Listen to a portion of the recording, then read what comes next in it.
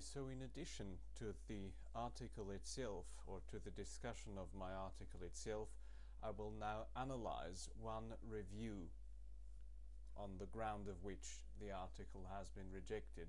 I will not mention the name of the journal that rejected it.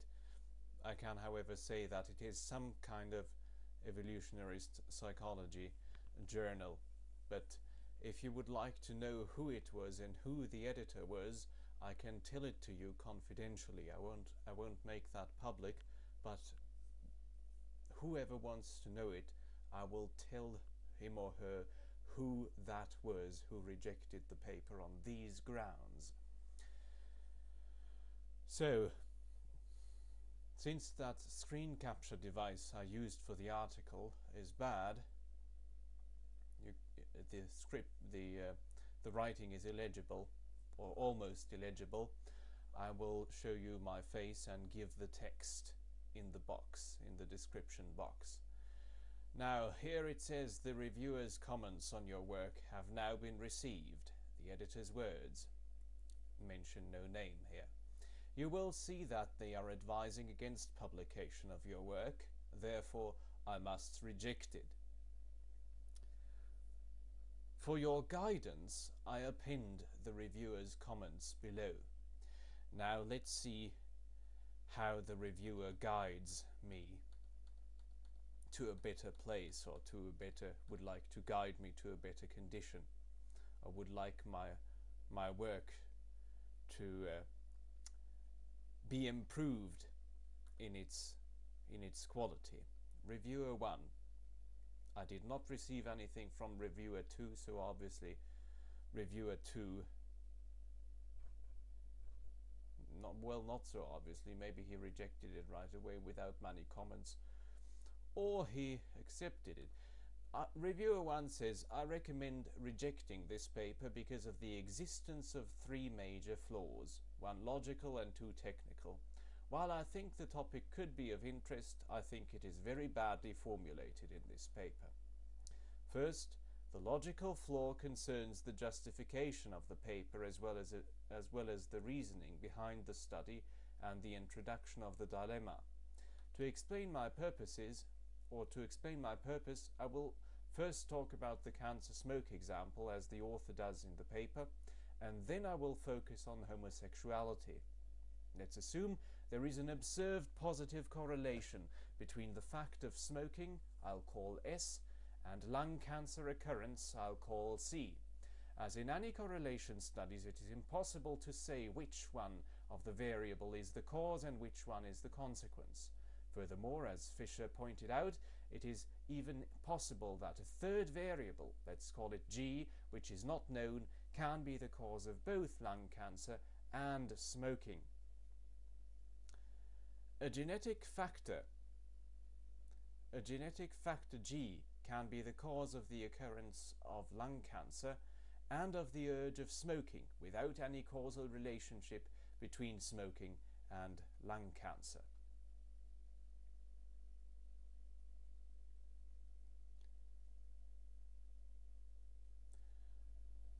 The Fisher's sic dilemma is caused by the fact that the only fact one knows is that there is a correlation between smoking and cancer. Can I smoke if I know it gives pleasure to me, that it can kill me if G does not exist? Sic, this is what the reviewer wrote.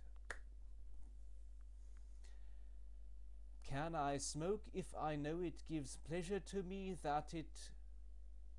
Can I smoke if I know it gives pleasure to me that it can kill me if G does not exist. That is, if there is a direct causal relationship between smoking and cancer, or it cannot increase my probability to have a cancer if G exists. Sic, that's what he wrote. The dilemma is caused because there are two exclusive situations, G exists or not, and we cannot decide about it with only knowledge of correlation between S and a C. If G exists, there are two groups of people, two for simplicity, in a given population. One with the genetic factor, now some clarity uh, is there again. One with the genetic factor causing cancer and smoking, let's call it G+, and one without it, G-. Minus.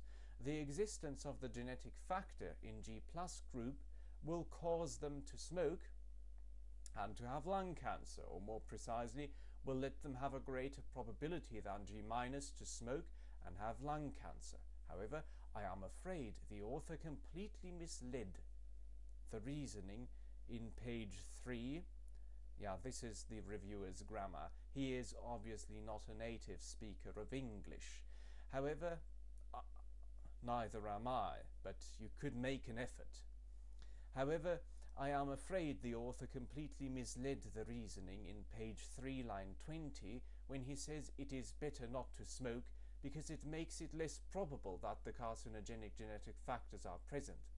The fact of smoking does not change the status of a given individual. An individual from G plus does not become G minus because he does not smoke. The genetic factor G plus causes the fact of smoking and not the converse. Smoking is not the cause of genetic factors G plus. To my mind, it is a major logical flaw because an identical reasoning is done because an identical reasoning is done for the correlation between female fertility, I call F, and male homosexuality, I call H. Page 4, line 12. It is better to become homosexual since this makes more this makes it, there is a citation mistake in the reviewer's comments, a quotation mistake. It is better to become homosexual since this makes it makes it is, miss, is missing, it more probable that the genetic factors for a larger than average maternal family are present. Once again, I think the author is completely misleading. Maybe is mis misled. Read it like that in order to uh, establish some some sense to, to the language of the reviewer. If there is a genetic factor G explaining the positive correlation between F and H, uh, uh, uh, any individual in G plus group will have a greater probability to be homosexual and to be relative with females which have who have a greater fertility than individuals in G minus. It is not because an individual decides to become homosexual that it increases the probability that his female relatives have the genetic factor G+. Further in the text, page 5, line 7, the author even says that it is clear that becoming homosexual still increases the animal's hope that his family will be larger than average. I do not see, the reviewer speaks again, I do not see what data allow the author to say uh, again a quote quote it is clear unquote and once again becoming homosexual does not change or ensure the